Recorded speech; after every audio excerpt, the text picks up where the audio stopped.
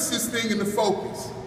We would think that a young African American alderman with an active and involved constituency would support policies that will enable children that look like him to succeed, would support communities prepared to invest in their schools, that he would see himself in the eyes of those children that have been neglected. But unfortunately, Alderman Will Burns has done exactly the opposite. And we are calling on Mayor Rahm Emanuel to intervene. We will not be placated. We will not be put in, in bogus meetings anymore. This is what our alderman has done. Alderman Will Burns did nothing while Dyett feeder schools, Price, Fuller, and Woodson were either closed or taken over by private management companies. Alderman Will Burns did nothing to stop the sabotage and eventual vote to phase out Dyett in 2012. Alderman Will Burns did nothing to prevent CPS from gutting effective Dyett programs like AVID, Life After Dyett, Intelligent Young Men in Dyett, Love Female Mentoring Program, and Voices of Youth in Chicago Education. Alderman Will Burns did nothing to stop CPS from lobbying those students immediately after the phase out and offer them bus rides to go to another school. Alderman Will Burns did nothing while those students were forced to go through the back door of their school, like this was 1947. Alderman Will Burns did nothing while Dyett students lost their honors in their AP courses. He did nothing while they had to take art, music, physical education, physical education as online classes. And now he does nothing while CPS forces the remaining students out of their school. So what is Alderman Will Burns' grade from us today? F. What is his grade? So we will no longer stand by and allow elected officials who carry the water for corporate interests to use our children as step ladders for their own political career and their political interests. So now we have coming up to, to the front, we have uh, to just indicate the fact that we've done more than what our job is to do. We've developed a plan that is light years ahead of anything that CPS has proposed. So Dr. Rico Gutstein from the University of Illinois Chicago College of Education.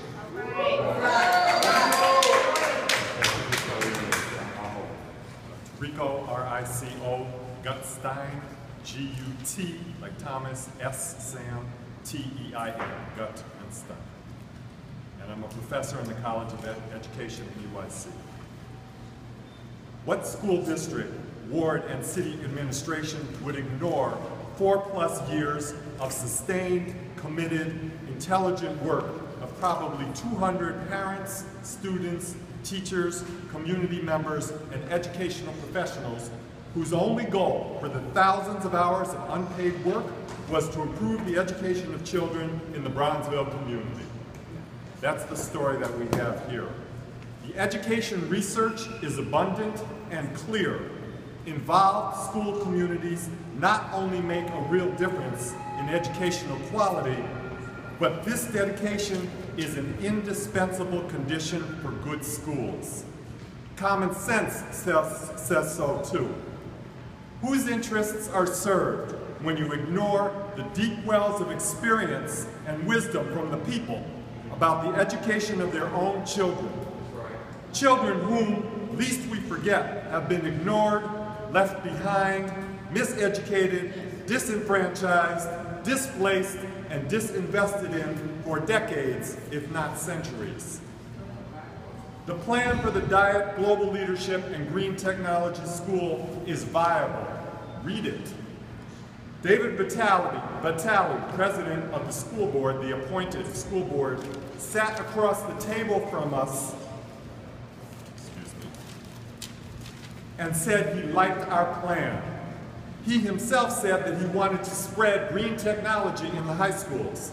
When we told him we wanted to meet with Ms. Byrd Bennett, he said, I'll, quote, I'll tell her we talked and she should listen. I wrote down his words.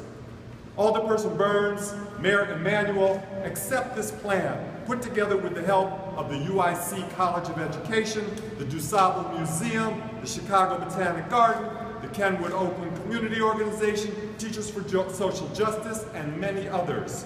It represents community vision and hopes. It is based in education research, and it comes from the heart of the people, filled with love for the community and children. Thank you.